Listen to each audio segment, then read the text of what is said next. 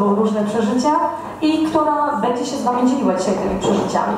Tak naprawdę myślę, że każda z nas e, ma na swojej drodze życiowej takie przystanki, o których nie chciałaby pamiętać, takie wydarzenia, które były ciężkie, które sprawiły, że jesteśmy innymi osobami. Tego niestety nie da się w życiu codziennym wystrzec i myślę, że warto czasami się podzielić z kimś albo wysłuchać kogoś, kto takie podobne przeżycia ma również ze sobą i który może nam doradzić albo może po prostu wysłuchać. Dlatego myślę, że to dzisiejsze spotkanie oraz późniejsze warsztaty dla wielu z Was mogą się okazać takim kolejnym rozdziałem w życiu ważnym. A w tkwi kobieca siła? No właśnie w jedności. I w tym, żebyśmy się poczuły ze sobą spójnie, żebyśmy się wspierały, motywowały i żebyśmy razem działały. Myślę, że tak naprawdę podświadomie, każda realizując się w innych swoich życiowych planach, czy to zawodowych, czy prywatnych, marzy o tym, żeby mieć przy sobie przyjaciółki i kobiety, które będą inspirowały, motywowały do dalszej działalności i wspierały.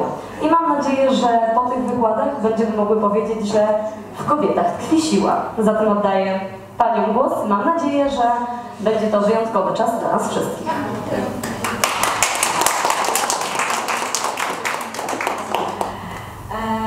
Tutaj chciałam powiedzieć, że to jest piękny dar dla nas tutaj, wszystkich kobiet, które tutaj są, że tutaj dzisiaj jesteś. Dlaczego? Wszystkie jesteśmy jakieś.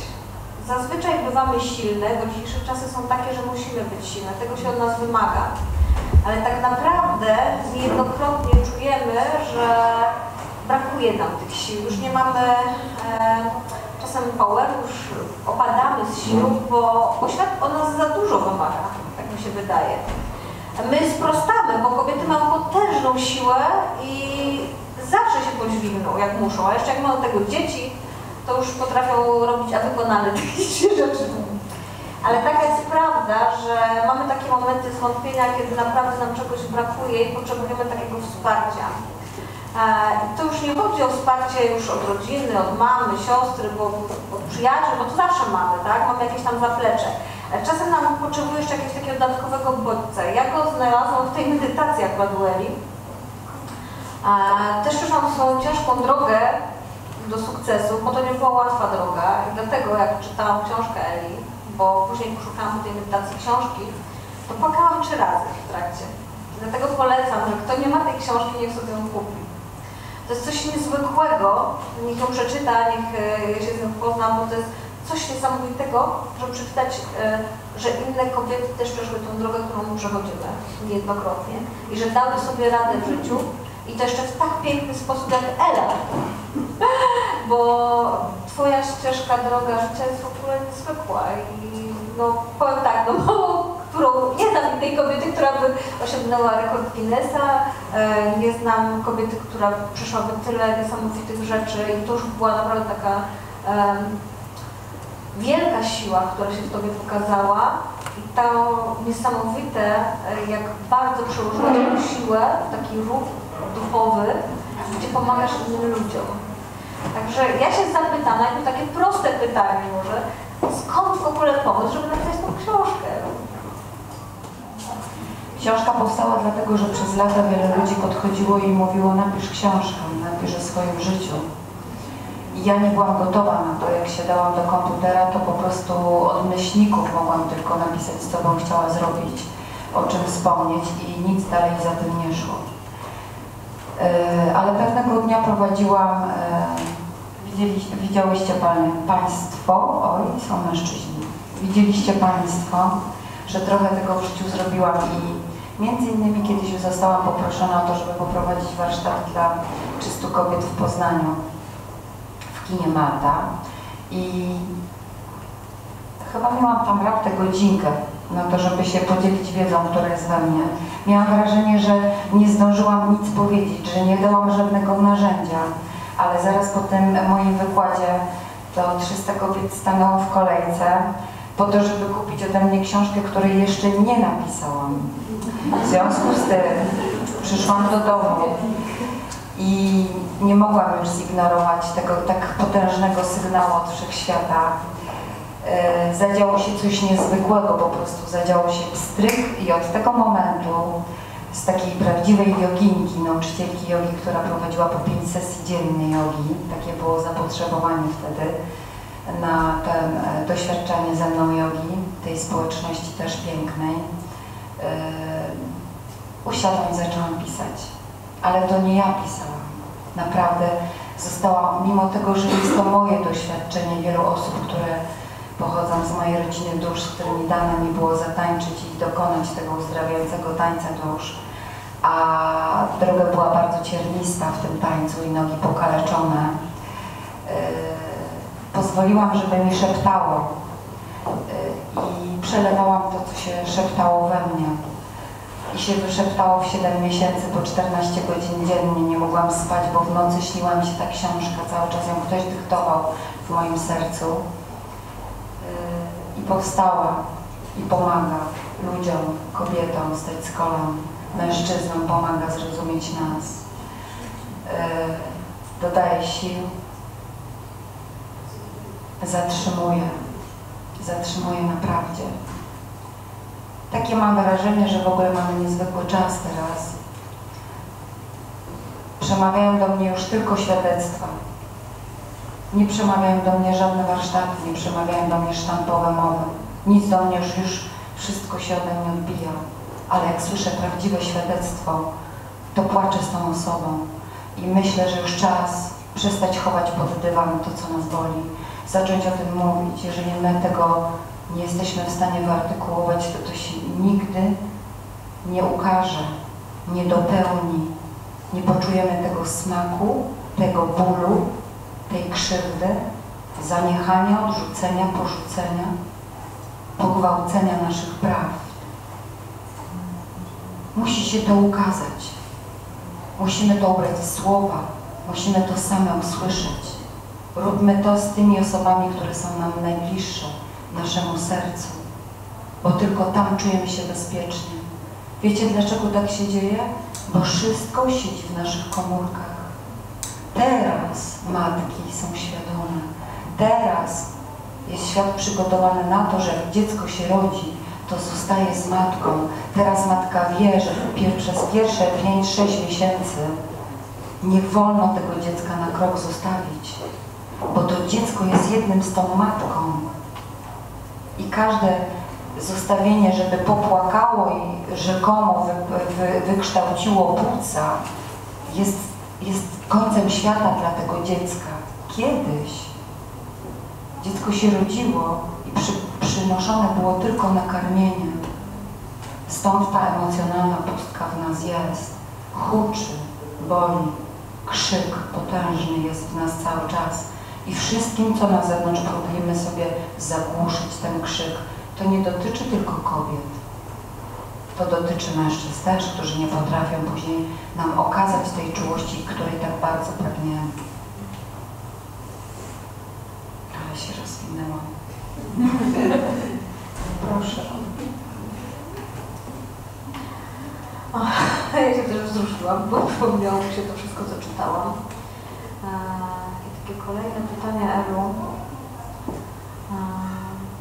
Co było takim momentem zwrotnym w Twoim życiu? No ja wiem, przeczytałam książkę, ale to są pewnie osoby, które jeszcze nie czytały.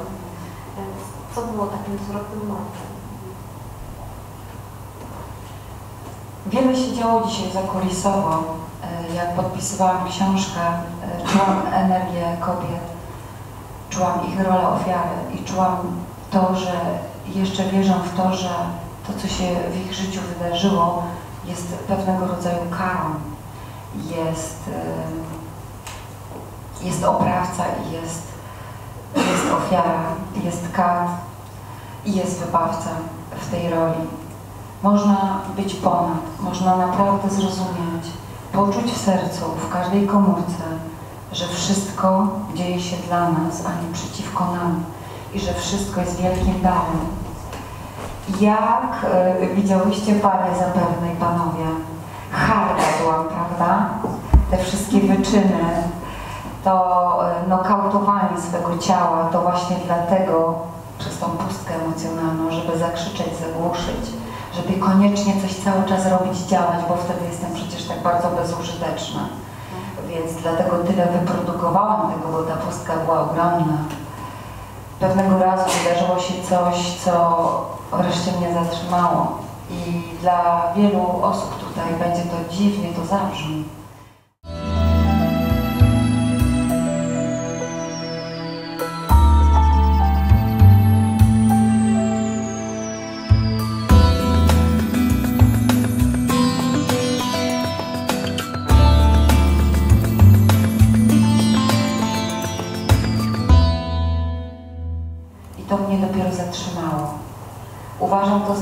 Dar. Mam cudowną jedność z moją córką, niezwykłą. I ten moment sprawił, że umarłam, ponieważ ktoś pogwałcił coś, co jest w mojej krwi kości czyste, niewinne, jedenastoletnie maleństwo, niewinne, zabrudzone. Tak wtedy to odbierałam, ale pozbierałyśmy się. I teraz tą historią się dzielimy.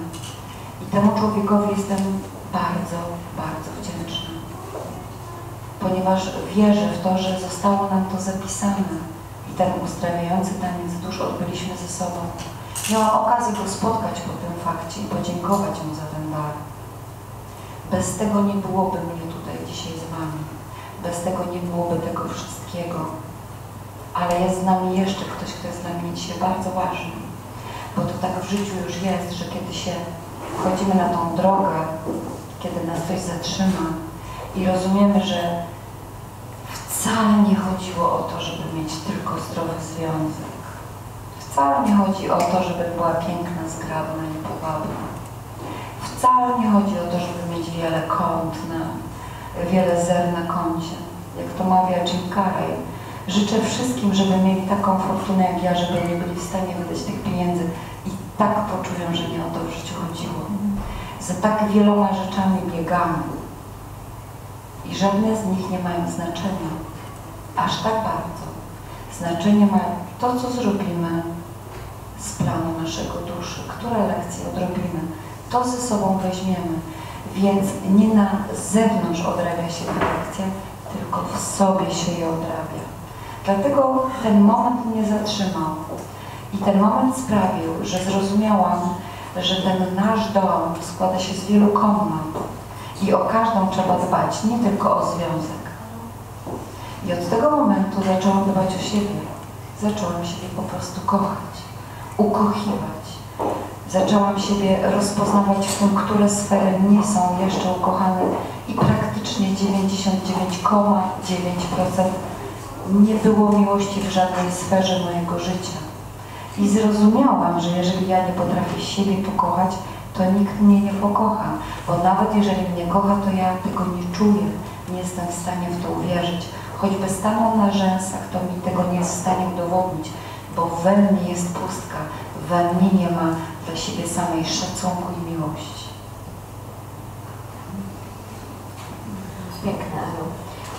Mam od razu kolejne pytanie. Co chcesz tak naprawdę przekazać kobietom dzisiaj podczas warsztatów? I czego chcesz je nauczyć i czym chcesz się podzielić?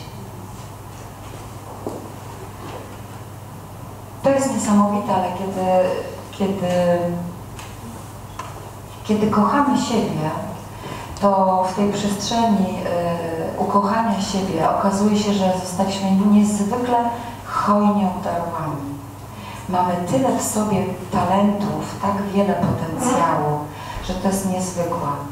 I ja odkryłam, że, że dostałam wielki dar pięknej barwy głosu, która potrafi przyjść w takie przestrzenie, jak już Ania wspomniała. I wiem, że czujecie, że to nie jest moje ego, bo ja nie mówię z poziomu ego. Ja po prostu zdaję sobie sprawę z tego. Jestem wdzięczna za te dary, jakie dostałam i się nimi dzielę. Jestem właśnie po to, żeby podzielić się z Wami, kochane dusze, tym, co odkryłam w sobie. Sobą prawdziwą, swoją prawdą. I wiem, że potrafię otworzyć ludzkie serce. I na tych warsztatach pootwieramy swoje serca, zostawimy na chwilę cały ten świat za tymi drzwiami. On sobie poczeka, ale kiedy będziesz miała otwarte serce i przyjmiesz moją wibrację, bo ja jestem skąpana w miłości do siebie, to Ci się to po prostu udzieli, bo nie ma piękniejszej rzeczy od tej, co możemy dać drugiemu człowiekowi, jaki ładunek energetyczny możemy zostawić po sobie. Ale zadzieje się tak dopiero wtedy, kiedy będziemy umiały dać to sobie same. Cóż, czy chcesz, żebym Ci zadawała jeszcze jakieś pytania? Ja jeszcze tylko powiem, że kiedy siebie kochamy, to jesteśmy otoczeni w tych ważnych chwilach bliskimi. Jest tu dzisiaj ze mną moja cudowna mama.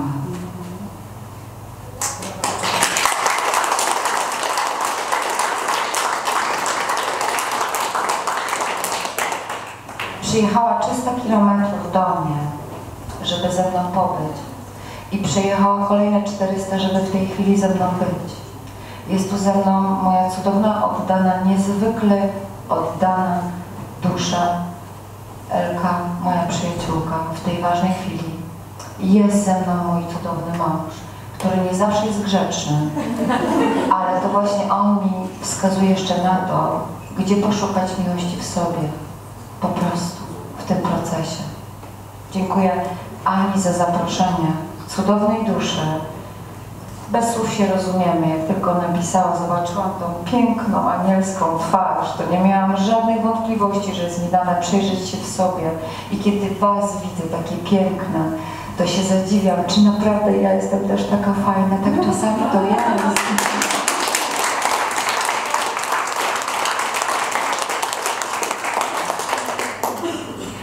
Ja po prostu, wiesz co, może były jeszcze jakieś pytania, ale ja chyba bym chciała, żebyśmy zaczęli pracować. I myślę, dziewczyny też już są na to gotowe, żebyśmy sobie usiadły ze i zaczęły pracować i się rozpoczął te piękne warsztaty, się dzieje. No o tej 15.30 zaczynamy warsztaty. Dobrze? Dziękuję bardzo.